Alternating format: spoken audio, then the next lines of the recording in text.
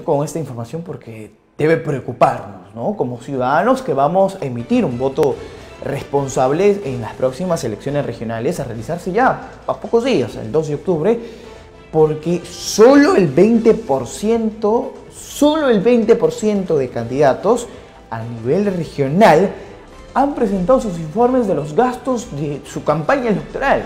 Es el colmo en realidad que solamente el 20% de estos mismos eh, hayan presentado eh, los informes de ingreso y, los gastos de la campaña. La OMPE, la OMPE, la Oficina Nacional de Elecciones, de Procesos Electorales, eh, amplió el plazo hasta el próximo 16 de septiembre para poder presentarlo. Preocupante cifra de los 4.443 candidatos que participan en las elecciones regionales y municipales 2022, solo el 20%, es decir, menos de 900, han presentado sus informes de ingresos y gastos de campaña. El plazo de la entrega venció este viernes 9, sin embargo se ha ampliado esta fecha hasta el viernes 16 de septiembre.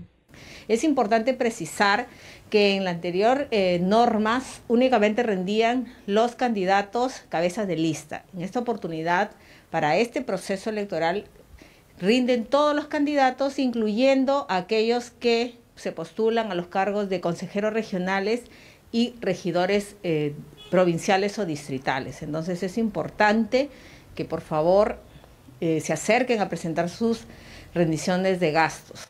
De no cumplir con la presentación de los informes a la OMPE, se sancionará hasta con cuatro unidades impositivas tributarias al candidato. Asimismo, la gestora de la ORC Trujillo manifestó que los cuatro movimientos regionales, que son Fortaleza Perú, Nueva Libertad, Súmate y Trabajo más Trabajo, han cumplido con esta obligación importante precisar que los cuatro movimientos regionales eh, de la libertad que se encuentran eh, participando para las elecciones regionales y municipales han cumplido con presentar su rendición de gastos de campaña.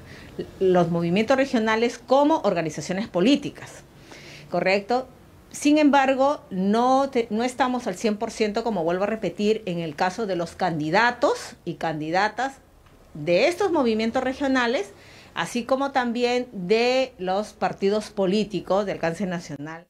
Hasta este viernes 16 de septiembre a las 23 horas con 59 minutos los candidatos regionales y municipales tienen plazo para ponerse al día con la rendición de cuentas, con el objetivo de transparentar el dinero que se viene gastando en sus campañas. Este trámite lo pueden hacer a través del portal Claridad de la OMPE o de manera presencial por mesa de partes, ya sea en las oficinas regionales de coordinación o en las oficinas descentralizadas de procesos electorales.